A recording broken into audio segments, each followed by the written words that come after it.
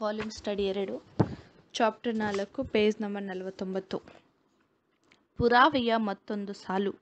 ಅನ್ಯಜನಗಳ ಕಾಲದ ಮತ್ತೊಂದು ದೃಷ್ಟಿಕೋನವು ನಮಗೆ ದಾನಿಯಲ ಗ್ರಂಥದ ನಾಲ್ಕನೆಯ ಅಧ್ಯಾಯದಲ್ಲಿ ದೊರೆಯುತ್ತದೆ.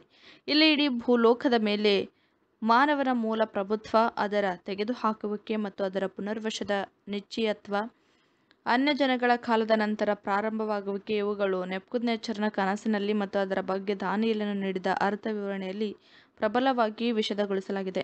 ನೆಪ್ಕು ನೇಚರ್ನು ಆ ಕನಸಿನ ಬಗ್ಗೆ ದಾನಿಯೇಲನಿಗೆ ಹೇಳಿದ್ದೇನೆಂದರೆ ಈಗ ಲೋಕದ ನಡುವೆ ಬಹು ಎತ್ತರವಾದ ಒಂದು ವೃಕ್ಷವನ್ನು ಕಂಡೆನು, ಆ ವೃಕ್ಷವು ಬಲಗೊಂಡಿತು, ಅದರ ತುದಿಯು ಆಕಾಶವನ್ನು ಮುಟ್ಟಿತು, ಅದು ಭೂಲೋಕದ ಕಟ್ಟಕಡೆಗೂ ಕಾಣಿಸುತ್ತಿತ್ತು, ಅದರ ಎಲೆಗಳು ಅಂದ, ಹಣ್ಣುಗಳು ಬಹಳ, ಆದುದರಿಂದ ಎಲ್ಲಕ್ಕೂ ಆಹಾರ, ನೆರಳು, ಭೂಜಂತುಗಳಿಗೆ ಆಶ್ರಯ ಕೊಂಬೆಗಳು ಆಕಾಶ ಪಕ್ಷಿಗಳಿಗೆ ನೆಲೆ. ಅದು ಸಕಲ ಜೀವಿಗಳಿಗೂ ಜೀವನ. ನಾನು ಹಾಸಿಗೆಯ ಮೇಲೆ ಮಲಗಿದ್ದಾಗ ನನ್ನ ಮನಸ್ಸಿಗೆ ಬಿದ್ದ ಕನಸಿನಲ್ಲಿ ಅನಿಮಿಷವಾದ ದೇವದೂತನು ಆಕಾಶದಿಂದಿಳಿದು ಗಟ್ಟಿಯಾಗಿ ಕೂಗಿ ವೃಕ್ಷವನ್ನು ಕಡಿಯಿರಿ ಕೊಂಬೆಗಳನ್ನು ಕತ್ತರಿಸಿ, ಎಲೆಗಳನ್ನು ಉದುರಿಸಿರಿ, ಹಣ್ಣುಗಳನ್ನು ಚೆಲ್ಲಿರಿ, ಮೃಗಗಳು ನೆರಳುಗಳನ್ನು ಬಿಟ್ಟು ಬಿಡಲಿ ಪಕ್ಷಿಗಳು ರೆಂಬೆಯನ್ನು ತೊರೆದು ಹೋಗಲಿ. ಆದರೆ ಬುಡದ ಮೋಟವನ್ನು ನೆಲದಲ್ಲಿ ಉಳಿಸಿ ಕಬ್ಬಿಣ ತಾಮ್ರಗಳ ಪಟ್ಟಿಯನ್ನು ಅದಕ್ಕೆ ಬಿಗಿರಿ. ಅಡವಿಯ ಹುಲ್ಲು ಅದರ ಸುತ್ತ ಬೆಳೆದಿರಲಿ. ಆಕಾಶದ ಇಬ್ಬನಿಯು ಅದನ್ನು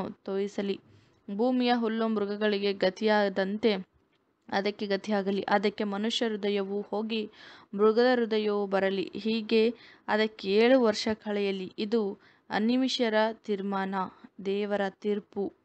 ಪರಾತ್ಪರನು ಮನುಷ್ಯರ ರಾಜ್ಯದಲ್ಲಿ ರಾಜನಾಗಿ ಅದರ ಆಳ್ವಿಕೆಯನ್ನು ತನಗೆ ಬೇಕಾದವರಿಗೆ ಒಪ್ಪಿಸಿ ಕನಿಷ್ಠರನ್ನು ಅದರ ಮೇಲೆ ನೇಮಿಸುತ್ತಾನೆಂಬುದು ಜೀವಂತರಿಗೆ ತಿಳಿದು ಬರಬೇಕೆಂಬುದೇ ಈ ತೀರ್ಮಾನವಾಯಿತು ಎಂದು ಸಾರಿದನು. ರಾಜನಾದ ನೆಬೂಕದ್ನೆಚ್ಚರನೆಂಬ ನಾನು ಈ ಕನಸನ್ನು ಕಂಡೆನು. ದಾನಿಯಲ್ಲ ನಾಲ್ಕನೇ ಅಧ್ಯಾಯ ಹತ್ತರಿಂದ ಹದಿನೆಂಟನೇ ವಚನ.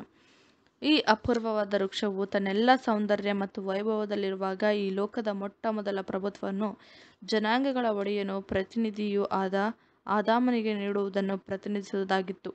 ಆತನಿಗೆ, ದೇವರು, ನೀನು ಬಹು ಸಂತಾನವುಳ್ಳವರಾಗಿ ಹೆಚ್ಚಿರಿ. ಭೂಮಿಯಲ್ಲಿ ತುಂಬಿಕೊಂಡು ಅದನ್ನು ವಾಶ ಮಾಡಿಕೊಳ್ಳಿರಿ ಸಮುದ್ರದ ಮೀನುಗಳ ಮೇಲೆಯೂ ಆಕಾಶದ ಪಕ್ಷಿಗಳ ಮೇಲೆಯೂ, ಭೂಮಿಯಲ್ಲಿ ಚಲಿಸುವ ಎಲ್ಲ ಜೀವಿಗಳ ಮೇಲೆಯೂ ದೊರೆತನ ಮಾಡಿರಿ ಎಂದನು ಆದಿಕಾಂಡ ಒಂದನೇ ಅಧ್ಯಾಯ ಇಪ್ಪತ್ತೆಂಟನೇ ವಚನ.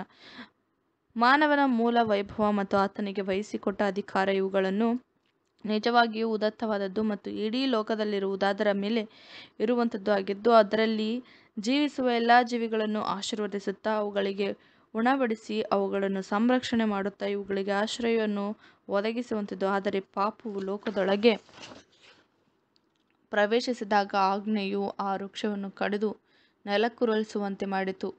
ಮಾನವನ ಸೌಂದರ್ಯ, ವೈಭವ ಮತ್ತು ಅಧಿಕಾರವನ್ನು ಕಸಿದುಕೊಳ್ಳಲಾಯಿತು.